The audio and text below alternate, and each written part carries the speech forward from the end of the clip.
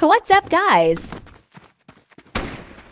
I was just exploring the creative map when I found a shoe that killed me.